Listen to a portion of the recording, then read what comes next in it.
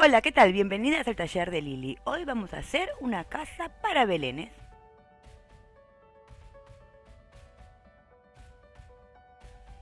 Y ahora sí vamos a empezar. Vamos a tratar de conseguir telgopor, eso es donde vienen los electrodomésticos. Con este tipo de trabajos ustedes saben que me encanta improvisar. Así que bueno, estamos haciendo eso, estoy recortando como para armar la estructura de una casa.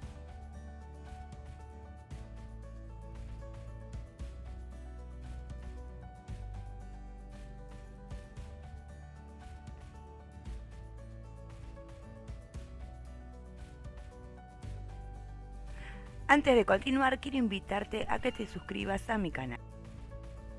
Una vez que tenía toda la estructura de la casa realizada, lo que hice fue marcar dónde iban a ir las puertas, en este caso son arcos, y este, las ventanas. Y seguí cortando telgopor en las partes que necesitaba tapar. Para pegar el telgopor lo que utilicé fue silicona fría y silicona caliente.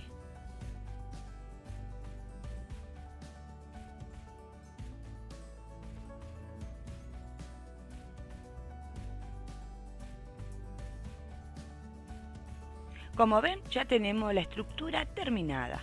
Ahora lo que nos queda es empezar a decorarla.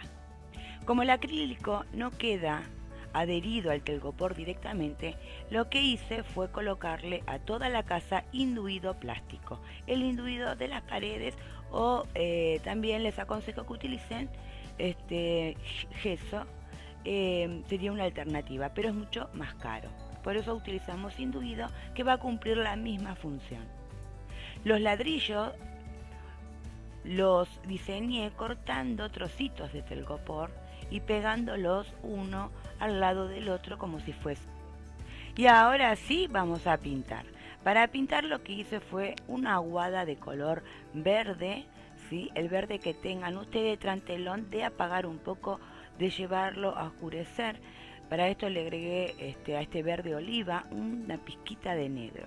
Lo que hice fue una aguada, como dije antes, y lo pasé sobre toda la superficie de la casa.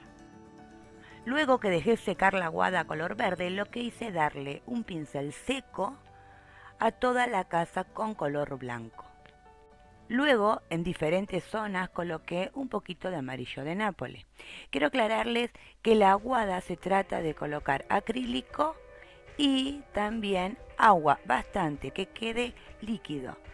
Y el pincel seco, de lo que se trata es colocar un poquito de acrílico en el pincel, descargarlo en alguna servilleta y luego ir a la pintura o lo que estemos pintando. Para los ladrillos tomé color óxido, acrílico color óxido, y lo fui pintando sin tanto detalle. También pinté con color marrón lo que es las ventanas o los postigones de las ventanas para darle ese toque a madera. Te invito a que le des clic a la campanita para que YouTube de esa manera te avise que he subido un video nuevo. No te olvides de suscribirte si sos nueva en el canal, así no te perdes ningún tutorial. Luego lo que hice una masa, masa de sal se llama, mitad sal, mitad agua, un chorrito de vinagre y hice para colocar en el piso de esta maqueta simulando una arena.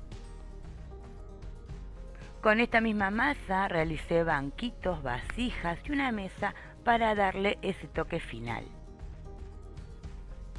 Realicé una aguada este, más oscura utilizando verde oliva y bastante negro en este caso y lo pasé por toda la casa para darle ese envejecimiento.